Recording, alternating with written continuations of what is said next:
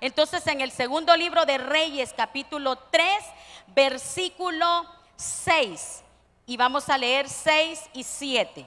Y vamos a hablar acerca de buscando la dirección de Dios. Y lo vamos a estudiar en cinco puntos. El primer punto es, ¿cómo es? Amistad. ¿Cómo es? Amistad. Quiero que, si le voy a estar preguntando es porque escucho mucha bulla y quiero porque en este momento usted me preste su alma. ¿Verdad? Que esté quietecito y tranquilo para que la palabra pueda caer en una muy buena tierra. Entonces vamos a hablar acerca de la amistad.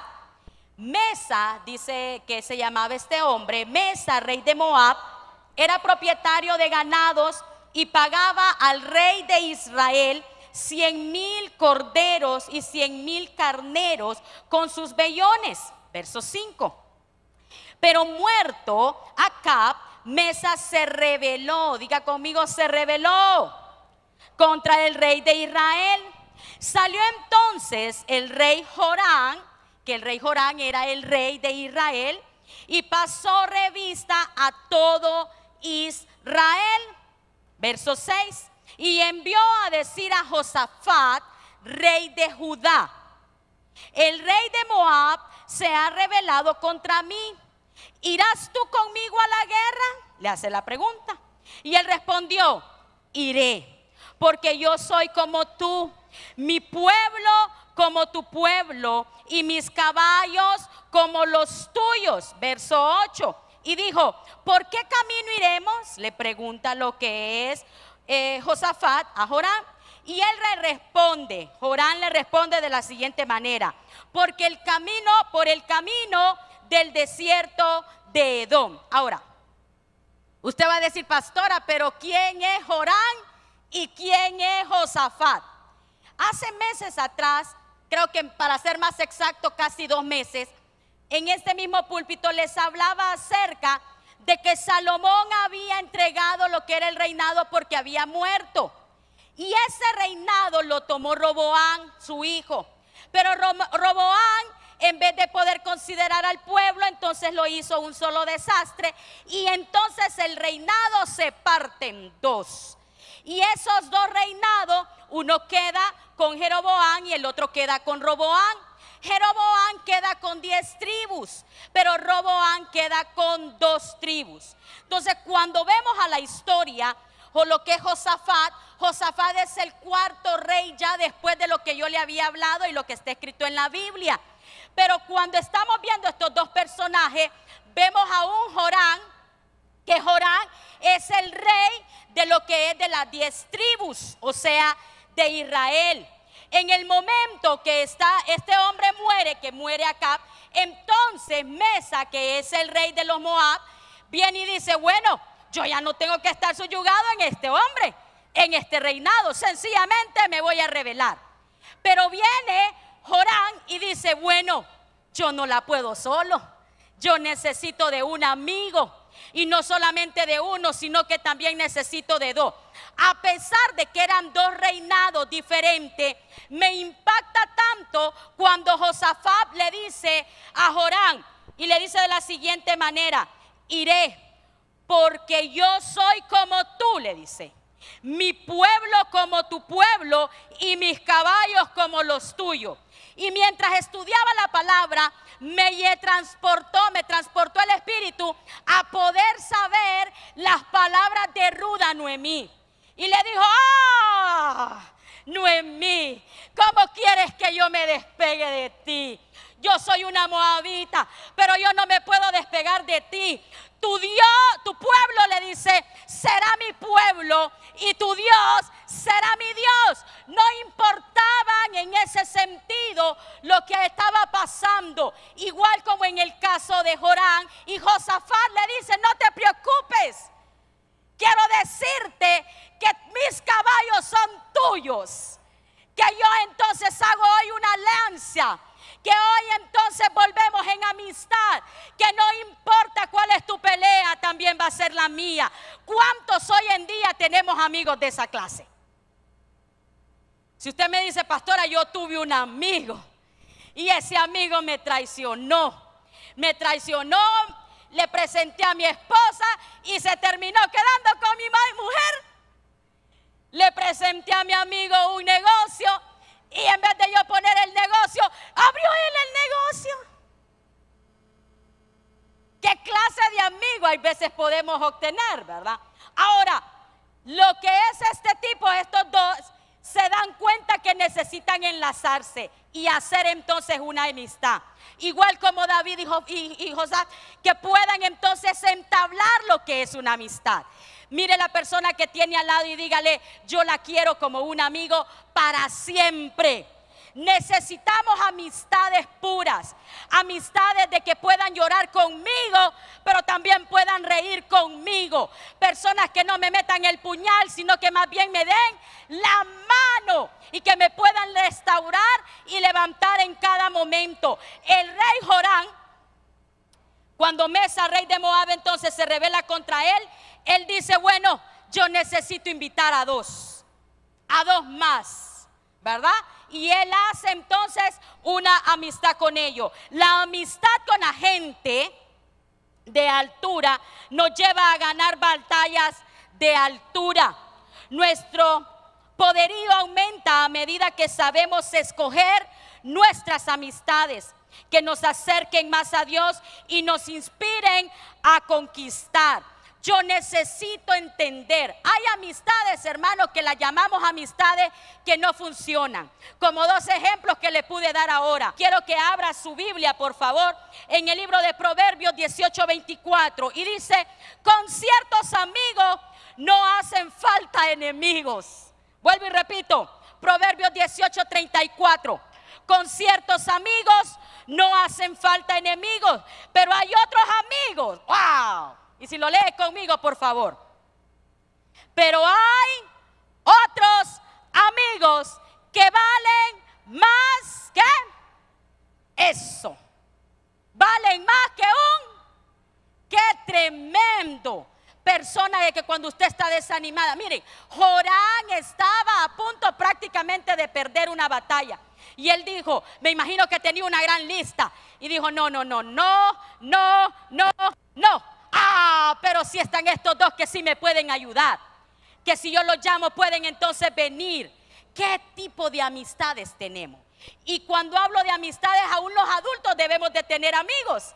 Y cuando hablo también de amistades, los jóvenes tienen amigos. Pero yo no quiero ese tipo de joven para mis hijos. Y yo creo que tampoco usted los quiere para los suyos. Que se le acerque la amiga y que le dice, fíjate que Menganito de 30 años y ya tiene 15, me está guiñando el ojo. Ay, dale viaje, ese hombre tiene carro, tiene trabajo, te va a sacar de donde está. ¿Para qué quiero esa clase de amigos? Jóvenes, hoy ustedes necesitan abrir los ojos. No pueden contarle sus alegrías o sus tristezas a cualquiera.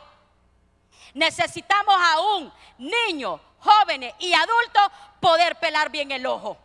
Saber a quién yo voy a hablarle a quien yo le voy a llamar amigo. Lo que dice Proverbios es, ah, hay clases de amigos que son súper enemigos. Y habemos muchos que nos hemos quedado sin amistades.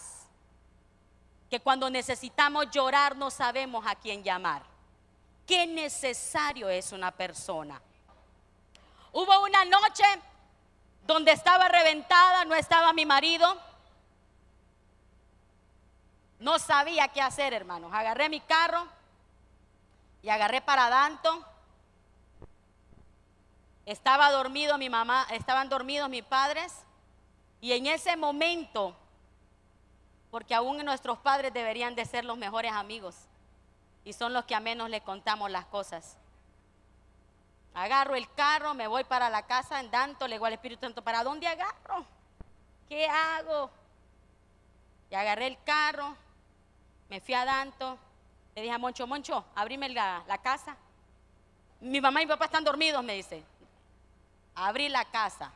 Abrió la casa y me fui a meter en medio de las sábanas, en medio de ellos dos. Y me acurruqué. Comencé a contarles y a hablarles. Y mi mamá y mi papá comenzaron a darme palabra. Pero los padres hay veces los dejamos en un olvido. Mi amor, si a ti te gusta un muchacho, ve y díselo a tu madre. Si a ti te gusta una muchacha, ve y díselo a tu padre. No se lo cuentes a cualquier pelado, pelada. Cuéntaselo a ella. Ay, pastora, pero es que usted no conoce a mi madre, me va a agarrar el gañote. Es que no es pecado que le guste a alguien. Preocúpese si le gusta a alguien del, del mismo sexo. Pero esa persona va a decir, ¿qué digo? ¿Cuántos de ustedes saben que a sus hijas, hablándolo en el área sexual, le han salido bellos ya. O a su hijo ya le salieron bellos. ¿Cuántos se dieron cuenta cuando le vino la primera menstruación a su hija o a su hijo? A su hijo, a su hija.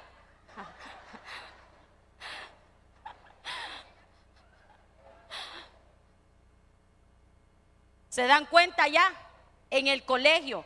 Pero ¿y los padres? Nosotros no nos damos cuenta de cosas que son realmente importantes en casa. Padres, ¿saben quiénes son los culpables? No son ellos. Somos nosotros. Mire a la persona que tiene al lado y si tiene a su mujer o a su marido a la par, dígale, realmente somos los culpables nosotros. Somos nosotros por el agite del trabajo, de los negocios. Nosotros no tenemos tiempo. Debemos de tener el tiempo. Debemos de hablar y decirle, mi amor, ¿cómo te fue en el colegio? ¿Cómo te fue en la escuela? ¿Cómo te fue en la universidad? ¿Te fue bien? Hay niños que los moronguean en la escuela y usted ni cuenta se da que lo están morongueando. Necesitamos ser amigos también. alguien me dijo a mí y me dice, sí, pastora, pero es que si el padre se vuelve amigo, entonces se perdió el asunto. No, es que yo no voy a ser compinche, voy a ser amigo. Dele un aplauso al Señor, por favor. Necesitamos amigos. Y jóvenes, el primer amigo realmente son nuestros padres. Que ellos puedan hablar y estar honrándonos con sus palabras. Podemos tener entonces peores adversidades, pero si desarrollamos mayores lazos de amistad con gente madura, con compañeros de liderazgo, que tengan mentalidad de reyes, que al momento de cualquier aprieto nos den ayuda y consejo sabio ¿verdad? Que nos puedan aconsejar. Su líder debe de ser una persona también que sea amigo, pero líderes, comportémonos también nosotros. Que ellos puedan sentir confianza con nosotros, pero hay cosas que ni a su marido o ni a su mujer puede decirle. Son secretos que solamente usted puede saber y hay que llevarlo también a la tumba. Amén. Si tiene a su líder allá al frente, dígale, líder, quiero ser amigo suyo. Amén. Denle un aplauso, por favor. La amistad. La amistad es un tesoro grande que debemos cuidarlo, limpiarlo, para que entonces pueda perdurar para siempre. Segundo punto acerca de la actitud. Segundo del libro de Reyes, capítulo 3, versículo 9 al 10. Dice de la siguiente manera, salieron pues el rey de Israel, ¿verdad? Que es Jorán el rey de Judá, que es Josafat, y el rey de Edom. Y como anduvieron rodeando por el desierto siete días de camino, diga conmigo siete días de camino, les faltó agua para el ejército y para las bestias que los seguían. Entonces el rey de Israel dijo, ¿se acuerdan quién es el rey de Israel? Jorán. ¿Quién es el rey de Israel? Eso. Entonces el rey de Israel dijo, ah, que ha llamado Jehová a estos tres reyes para que entregar, para entregarlos en manos de los moabitas. ¿Quién llamó a quién? ¿No fue Jorán quien solicitó ayuda? ¿Quién buscó el camino? No fue Jorán el que dijo, no, no, no, nos vamos a ir entonces por el desierto de Edom. No sé si me entienden lo que le estoy diciendo. Hay situaciones en la vida que comenzamos a culpar a Dios cuando los culpables somos nosotros. ¿Quién decidió irse por el desierto? ¿Quién decidió agarrar a ese muchachito como novio si solo tiene 16 años? ¿Quién lo decide? Ay, es que estoy resentida con la iglesia y con Dios porque está resentido si yo no estuve ahí en el paquete. Ay, pastora, me voy de la iglesia porque el hermano tal me debe tanto. ¿Y acaso usted me vino a mí a decir cuando quería prestarle billete? ¿Acaso usted consultó con Dios para decirle, Señor, se lo presto, no se lo presto? Y agarrar una, por lo menos una flor, hermano. Se lo doy, no se lo doy. Se lo doy, no se lo doy. Y cayó en sí, Señor, vuelvo a agarrar otra flor, se lo doy. Le entendió y qué bueno.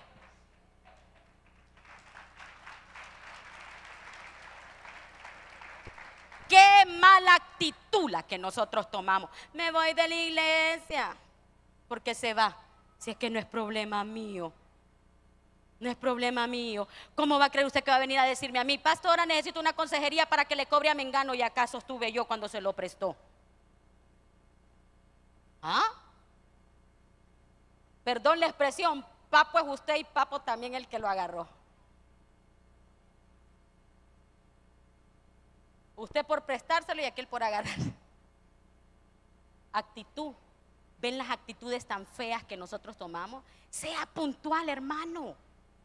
Si ya pidió dinero prestado, páguelo. No sea sin vergüenza. Tome una buena actitud. No se estén casquetando en más tonteras.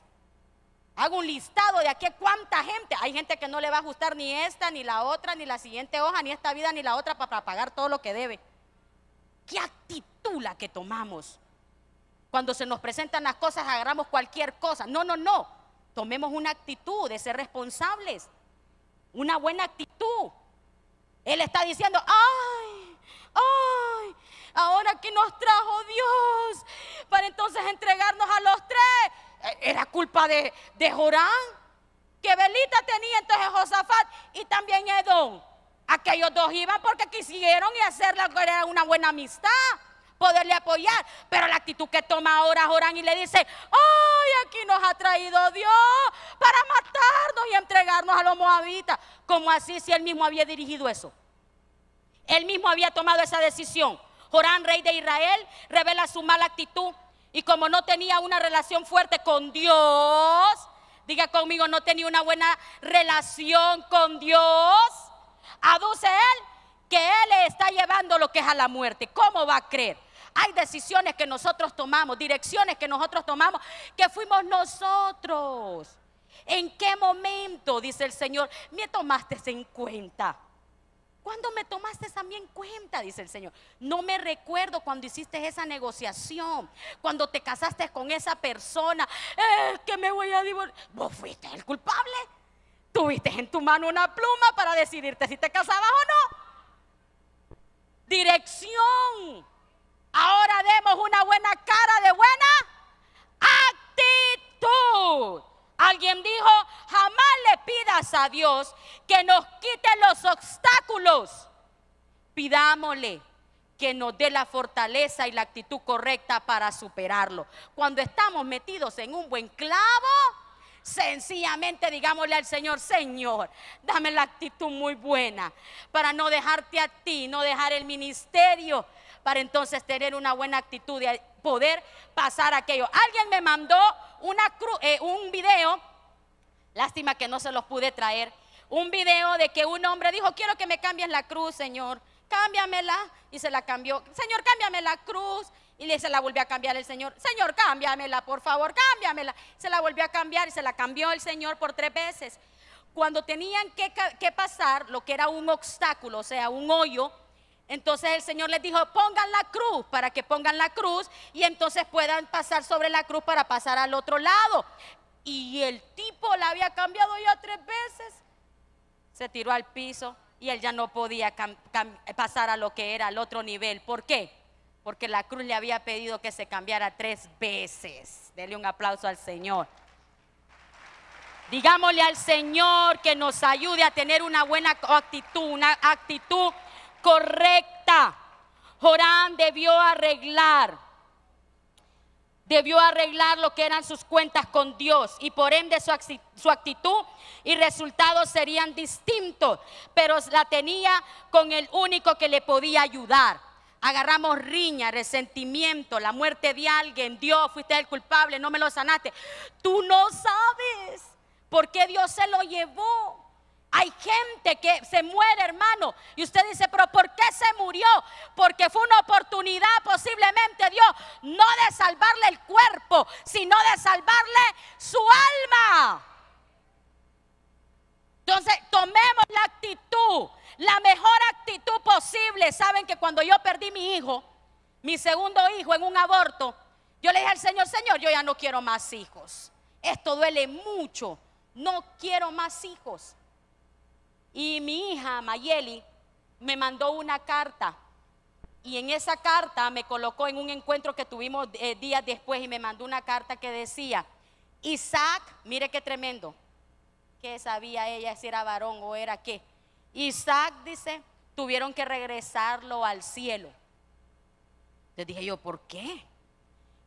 De seguir leyendo, ¿ah? porque es que hay veces nos quedamos con las primeras partes. De- por- digo yo, ¿por qué? Porque Isaac se vino a la tierra con alas. Ahora va a hacer fila para que le quiten las alas y va a hacer fila para que nos lo envíen a la tierra. Actitud. Por eso es que necesitamos estar con personas que nos lleven a otro nivel para que la angustia que yo tenga pueda ser consolada por aquella persona que está de pie. El mundo da vueltas, amados. Hoy yo necesito de ti y tú necesitas de mí. La próxima yo voy, tú vas a necesitar de mí igual que yo de ti. El mundo da vueltas, pero necesitamos tener una actitud correcta. El libro de Job, capítulo 22, 28 dice, determinarás a sí mismo una cosa. Lea conmigo. Y te será firme y sobre tus caminos resplandecerá luz. Una sola cosa pero sepamos de que en cada, en cada paso que nosotros demos, sencillamente va a respaldar, vamos a ser respaldados por la luz del Señor. Dele un aplauso.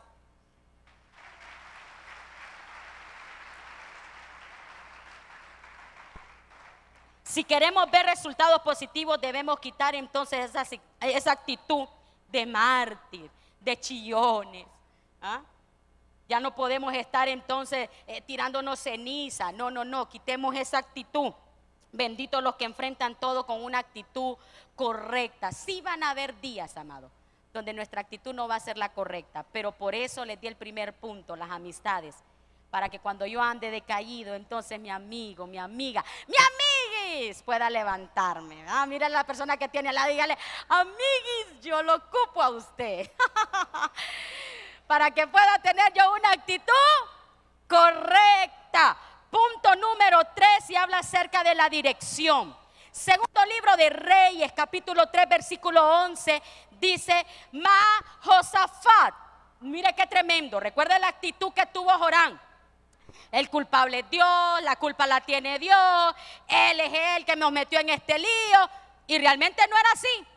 Por eso es que hay que ver todo el contexto, ¿verdad? Cuando hay personas que vienen a consejería, dicen, es que, es y usted empieza a tirarle la culpa a alguien. No, no, no, permítame. Yo necesito juntarlos para saber entonces cuál es la situación correcta en todo esto. Y Jorán lo que estaba haciendo era culpando a, a Dios. Pero en este momento de la dirección viene Josafat, que es el rey de las dos tribus, ¿verdad? El amiguis, el que le fue a ayudar a Jorán.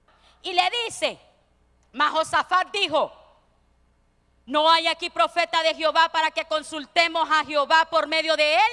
Le está diciendo Josafat. Y uno de los siervos, ojo, ¿quién dijo? Y uno de los siervos del rey de Israel, o sea, de Jorán, dijo, aquí está Eliseo, hijo de Safat. Verso 12.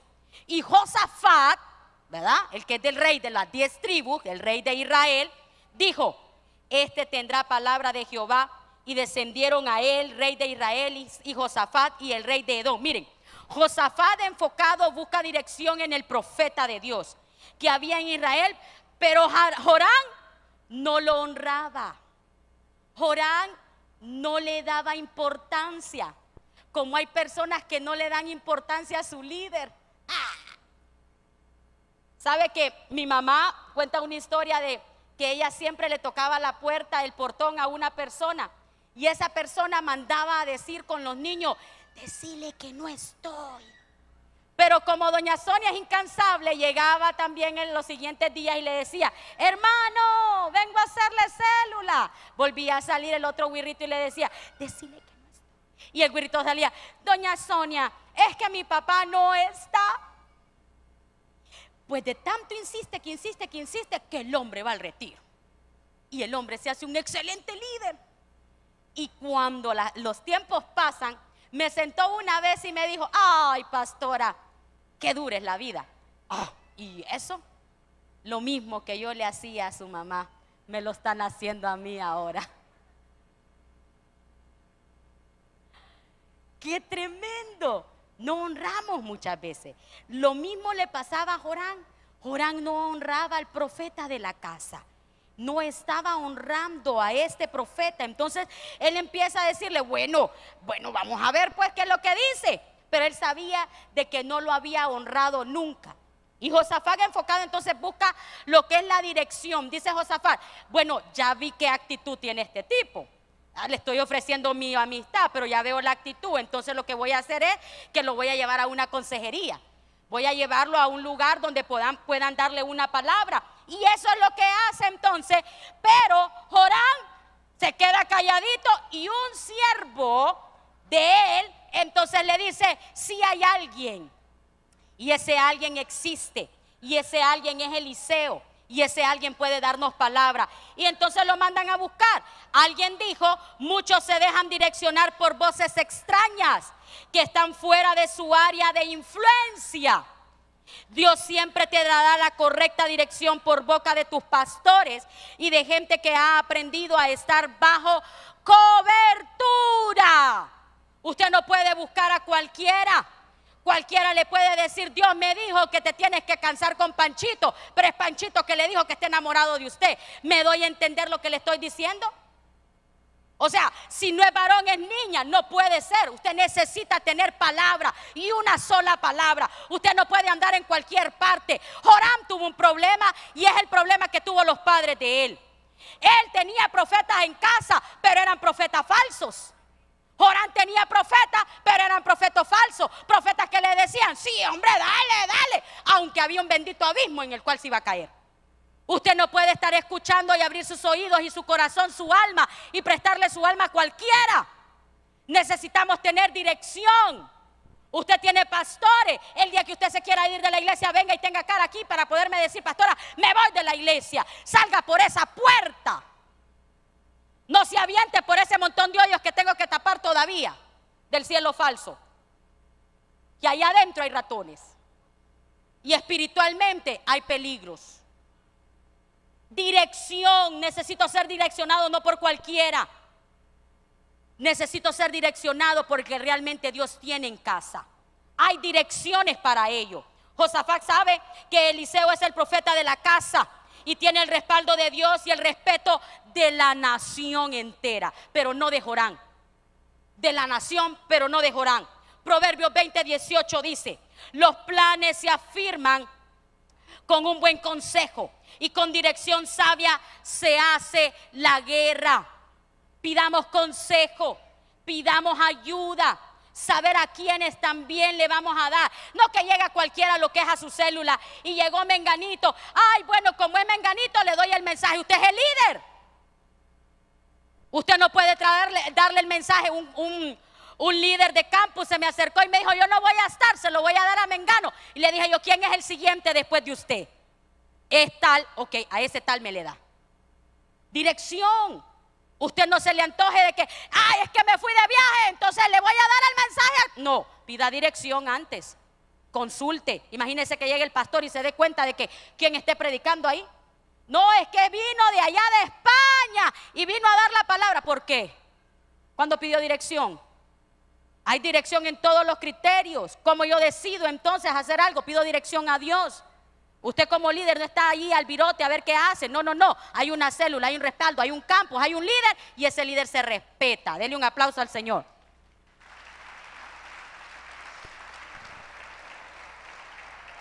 Tengamos sumo cuidado de no ser engañados por personas incorrectas. Es que dice el Señor, eso de dice el Señor, hay muchas veces se da de moda, está de moda.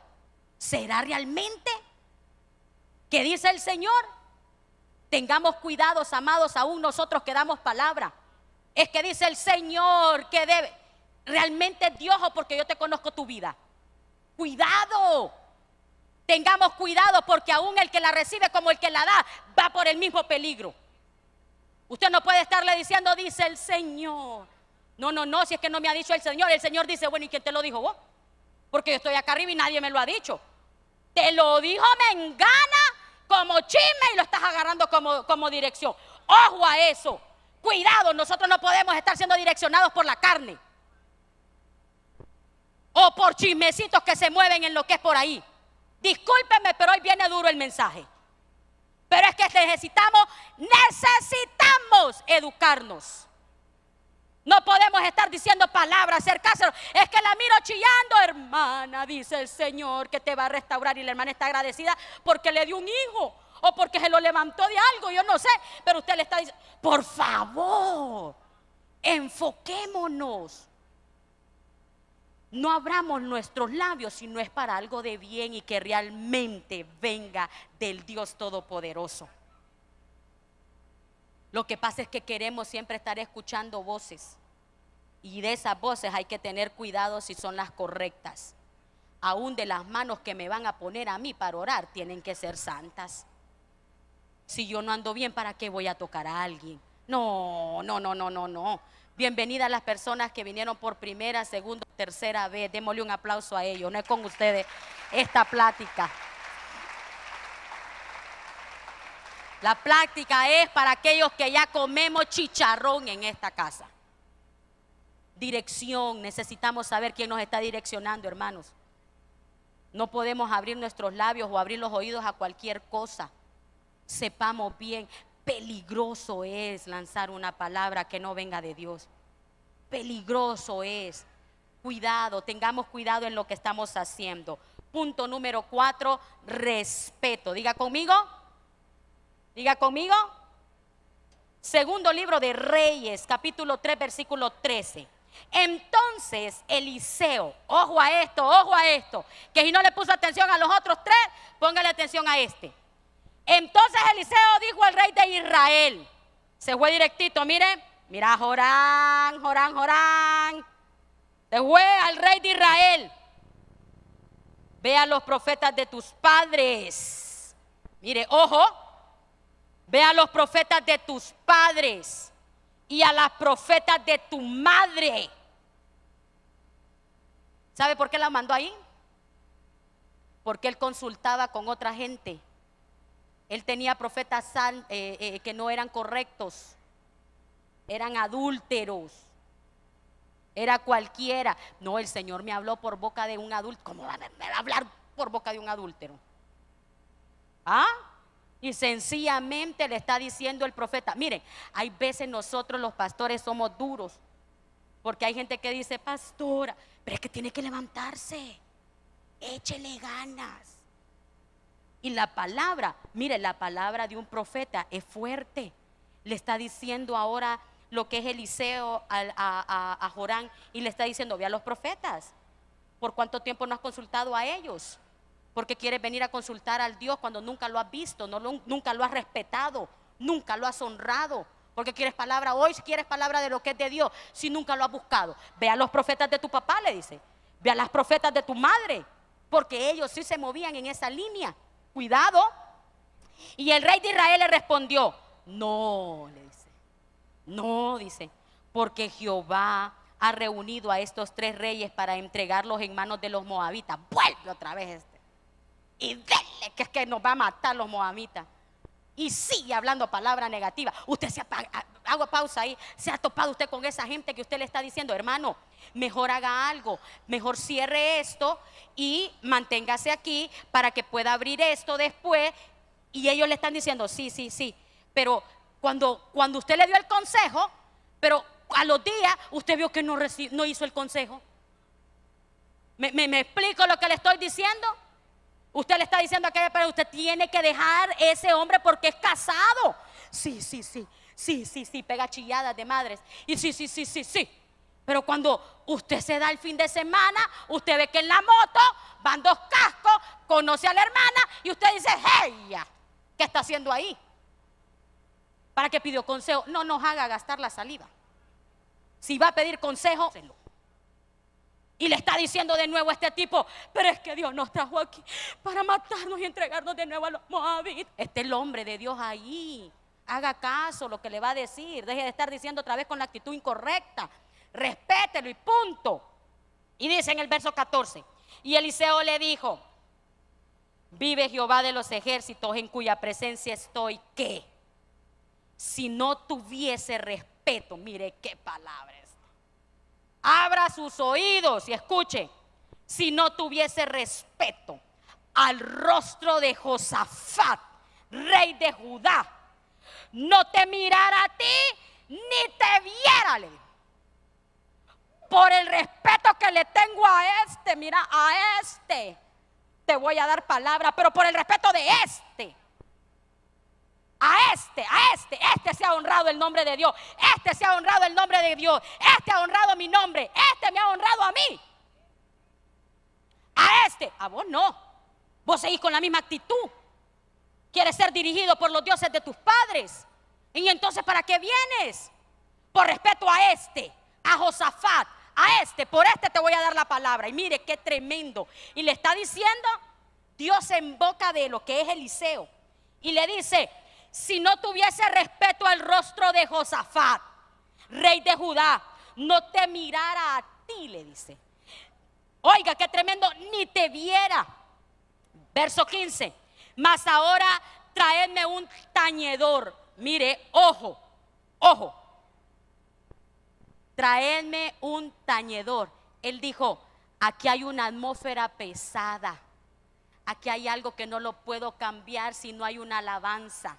Sabe que nosotros muchas veces entramos por esa puerta comiendo, hablando, discutiendo, hablando por teléfono. Cuando entremos por las puertas, eso es alabanza. Cuando esté la alabanza, es que usted y yo debemos de cambiar la atmósfera. Es porque Dios va a hablar. Es porque la atmósfera necesitamos entonces restaurarla. Él está diciendo, aquí yo no puedo traer cualquier cosa. Aquí yo no puedo ser direccionado normalmente. Aquí yo necesito de que todo se cambie. Y entonces trae un ¿Sabe qué es un tañenor? Un músico lo trae entonces para que empiece a cambiar. De allá, mire, el talento. ¿Quiénes tienen talento aquí de tocar un instrumento? Levante la mano. Levante la mano todo aquel que toca un instrumento. ¿Saben por qué Dios les dio la honra a ustedes de tocar un instrumento? Lo que pasa es que muchas veces no nos entendemos. Porque los ángeles no pueden venir aquí. Y la habilidad que Dios les ha dado a ustedes es para que entonces puedan adorar acá para que ellos se callen y aquí se abra la boca y podamos entonces exaltar al Dios Todopoderoso.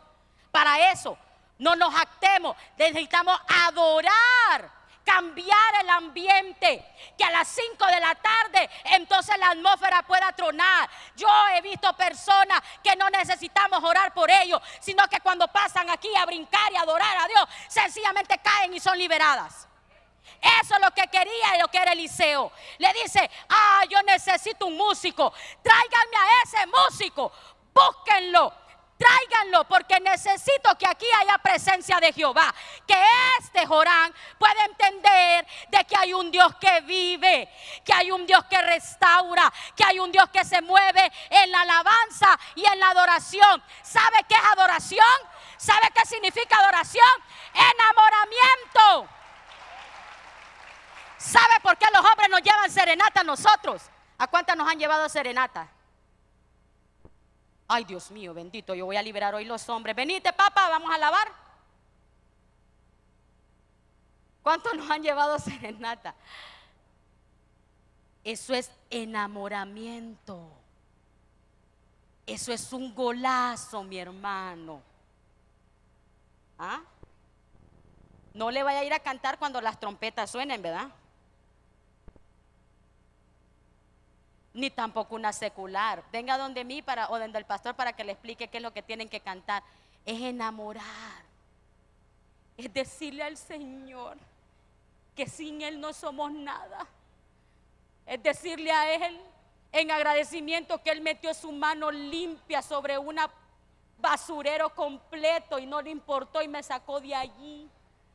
Hay mucha gente que se está perdiendo allá afuera. Sintámonos honrados nosotros de que nos tiene aquí. Es poder entonces levantar adoración, enamorarlo a Él. Es lo único que podemos entregarle y es eso, la alabanza, la adoración. Es lo único que Él se lleva, hermanos. Mire, la ofrenda, Él no se la lleva. Se lleva la adoración. Se lleva como olor fragante. Parecemos chimenea en este altar, en esta iglesia, cuando hay la alabanza, porque la fragancia tiene que subir al trono de gracia para que Él pueda decir, ok, ahí voy. Y la chequina de Jehová comience a pasearse en medio de cada uno de nosotros. La gracia de Él comience entonces a inundarnos pero necesitamos respetarlo. Hay un respeto, necesitamos respetar la casa de Dios. Le está diciendo él, ah, por ti no te lo estoy diciendo, pero se lo voy a decir a este, pero no puedo hacerlo así sencillamente. Tráiganme la alabanza. Mire qué importante y me puse a recordar acerca de que cuando Saúl estaba con lo que era un demonio que lo visitaba. Se le acercaron y le dijeron, trae a alguien que cante, trae a alguien que toque el arpa para que pueda entonces los demonios huir. Y eso es respaldo de lo que le estaba diciendo ahorita. Y dice la palabra que Saúl estaba ahí endemoniado. Pero cuando David tocaba el arpa, era otro asunto. Dice de que ningún demonio podía estar en ese lugar porque tenía que huir. Usted no puede permitir que en su casa se ponga lo que es, eh, ¿cómo es que se llama esa? Despacito. Ah, bien que sabe cuál es, ¿verdad? Yo ni la he escuchado, pero ahorita se me ocurrió.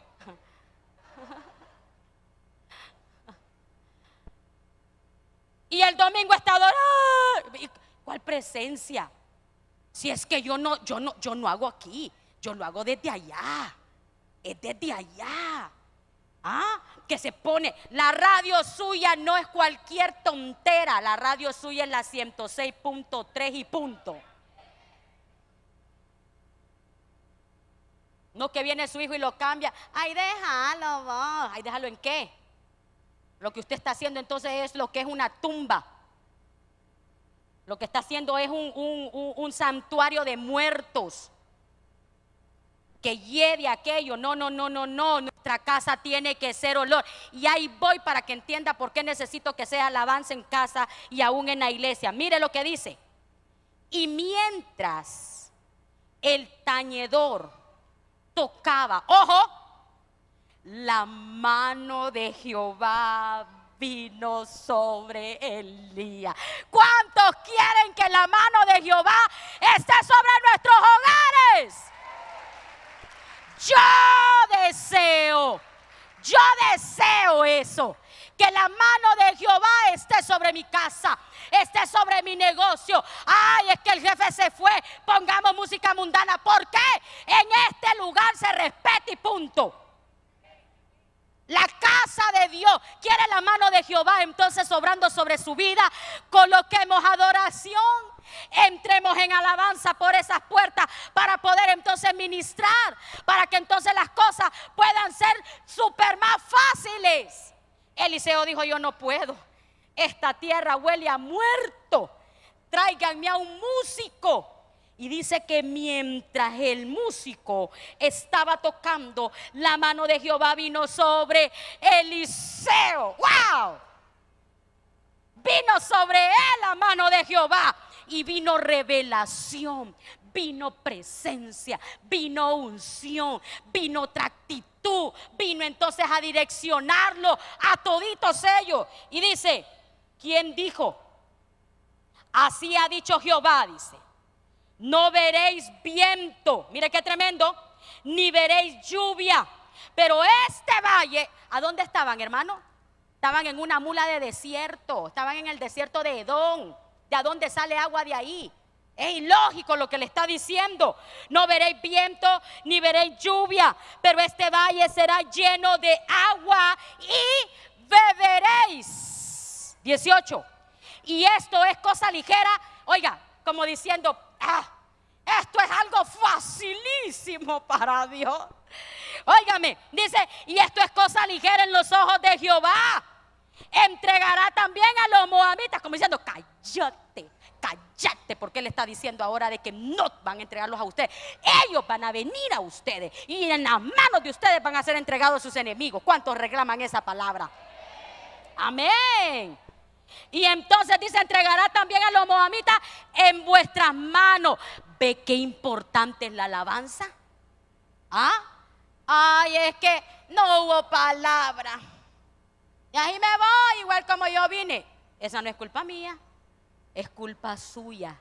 Porque usted es un tañedor, Usted es el que tiene que levantar alabanza al Dios Todopoderoso. Por eso es tan perfecto de que la alabanza es primero y después la palabra. Usted y yo debemos de qué? De exaltar al Dios. Quien esté en este púlpito, usted es el que tiene que honrar al Dios Todopoderoso. Es su mano, la mano de Él, la que va a estar sobre su cabeza, no la de esto, es la suya. Dependiendo la calidad de alabanza que usted y yo le damos, así la mano de Jehová también se va a mover sobre nosotros.